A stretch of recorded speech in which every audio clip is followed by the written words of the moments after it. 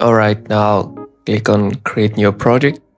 To save your project, you need a certain folder.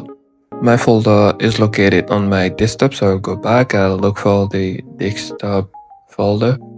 Let's go back to desktop. Alright, now I created a tutorial folder on my desktop. Then inside it, I'm going to select TinySword and select the current folder. I'm going to name my project TinySword as the asset I'm using is TinySword and click on create.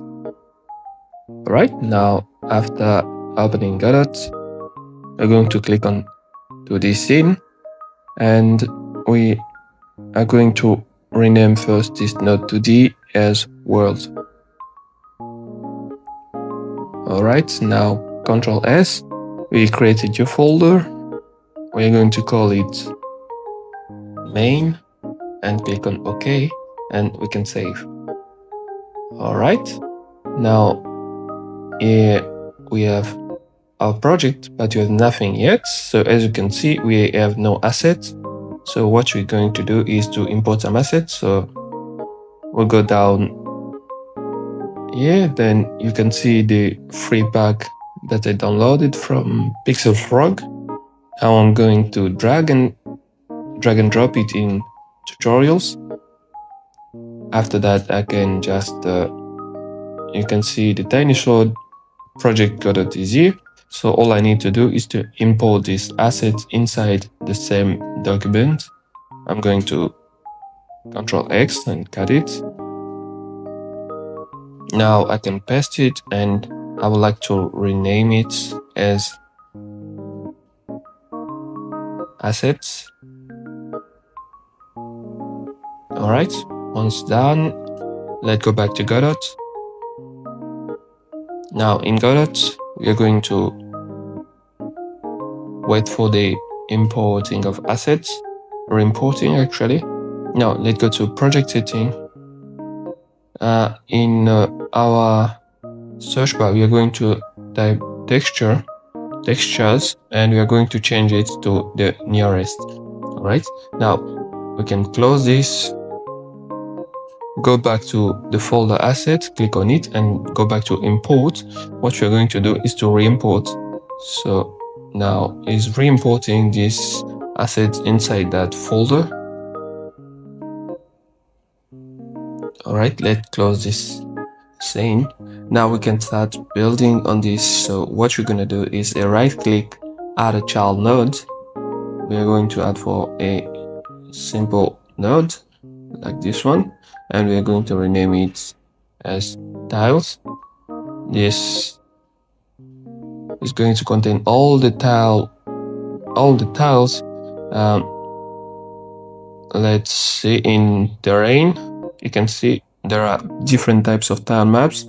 There is the water background and all these tiles. So let's first add a child node to our world. We are going to add another node to the drag it on top of tiles and let's rename it as uh, background.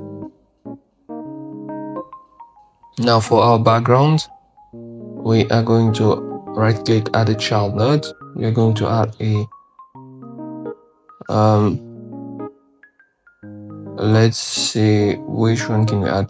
We are going just to add a we can try a panel actually no, doesn't seem like a good idea to use a panel. So all you can do also is just change the type. You're going to use a texture, right? Texture rect. All right, let's rename it as uh, water. Now you can go and drag the image after the textures. All right, now let's expand this image to fill the screen size. You can even make it bigger. You can save and now let's close this. Alright, now we are going to right click on tiles and add a child node. We are looking for tile, but you know you're using tile map, so we are using tile map layer. Alright, now we can duplicate up to five copies of them. Let's rename the first one as ground one. The second one is ground 2 and ground 3 this is for different uh, levels of ground now click on tile set empty and add a new tile set you're going to change the tile size to 64 by 64 which was set by Pixel Frog, the creator of all assets. So you can just go on the website, then you'll see that all the assets are set by 64 by 64. Let's go back here. As you can see, we have different colors for these different types of tiles for the ground. So let's go on tile set. We are going to drag and drop it here. As you can see, you can click yes. Then now you can see I can select all these and we can zoom a little bit back and try to center this.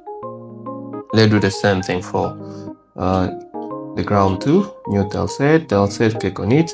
We're going to change the tile size 64 by 64.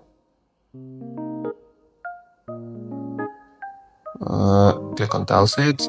We're going to import third one here as you see, the color change, this one is a little bit darker. Same process again.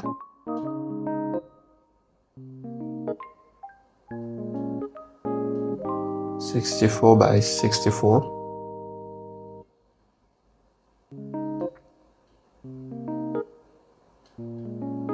All right, now on tile set, we are going to drag and drop it right here.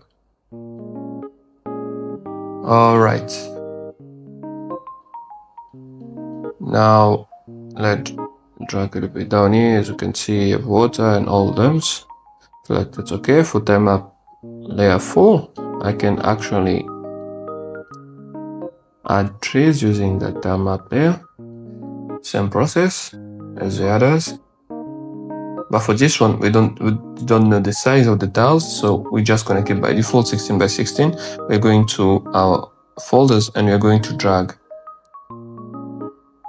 from the three three images. We're going three four and three four PNGs. So as you can see now, we can go back to our ground one. For those who do not know how to actually use this tile, we can go to my previous tutorials on how to make a RPG game. But one of my first videos I think is the first part of the video, which talks more about how to use this drawing skills and design skills for the RPG map. I will leave you the link in the description so you can actually see how it's made. Even from here, I can just show you a little bit how I actually use it. So as you can see, we have three different elevations of the grounds. I will use three levels of the ground. You can even use more if you want for more design, but I feel like a three level is already good for me and for the idea of the template kit I'm making. So be also careful about the details. As you can see, the elevation on the ground does not have the water foam on it, but as you can see now I can actually cover it like this all right very nice to build like this so me I'm going to actually stop by here. You can go and do your designs and we will see each other in the next video most probably